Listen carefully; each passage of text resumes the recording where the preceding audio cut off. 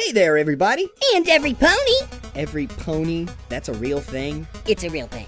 Okay then. Sonic the Hedgehog. And Rainbow Dash. And Rainbow Dash, somehow. How are you broadcasting right now?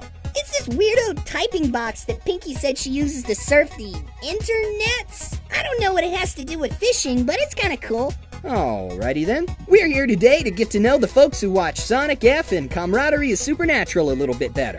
By reading the awesome comments and messages you leave on our videos, we'll answer a couple of questions too. So without further ado, Your mic quality is great. What do you use? Mine picks up every little noise, so mine isn't as clear as yours. Okay, I'm pretty sure this one was for Game Buddy, and he uses an MXL 990 USB condenser mic. It's about a hundred bucks and isn't as popular as, say, the Snowball or Yeti brands, but with the right setup, it can produce professional quality sound. If you're having problems with background noise, you can try recording in a small closet or even under a blanket. Anything to keep the sounds you want from bouncing around the room and echoing. This is Game Buddy's makeshift recording booth. A good setup and proper usage of a noise removal tool can work wonders. No, really. Question about Mr. Stewart's theme. Is it the Resident Evil 3 save room theme? It sounds like it, but the low note is a lot quieter.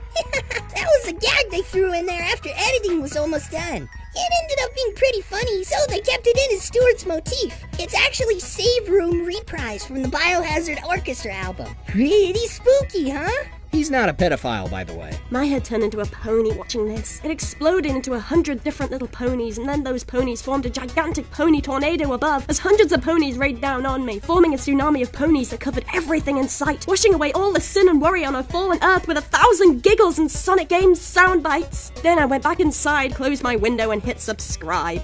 Glad you enjoyed it. I think. Seriously, this is like an abridged series, though it says in the tags this isn't a abridged series. We swear, yeah, I really did read the tags. But we don't have a bridged parody or a pun in the title, and we have more than one guy doing all our voices. Yeah, do you know how awkward that would get? How much dick do I have to suck to get you guys and make a new episode? Hell, I'll even play through Big the Cat's game story again. Huh? A duck? Aw, jeez, I was afraid this would get weird. Um, so I think part of this one is covered in Cyberlink's second Just the Facts video. You can watch that for a better answer. Or you can just keep watching this. It is a new video after all. Fuck this! Q has always been in there! Fuck this! Yikes! Who molted in your muffins, pal? Hey, don't take it so person. Oh. Ha! This is very good. Sure, it's not Shady Fox, but it's very decent. Anyone notice Eggman's first base looks like a dick? Ugh, seriously? This is getting ridiculous. I mean, oh, Oh, I get it now. this is nuts. I give up. Aw, come on, Sonic! One more! I bet it's a nice one from a really dedicated fan! Eh, alright. I'm out.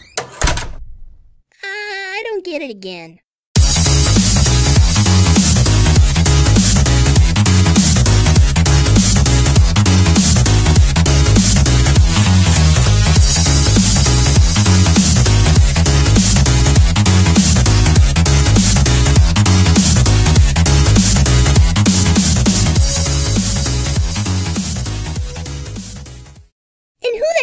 This little curry bow, and why does everyone care if he likes brownies?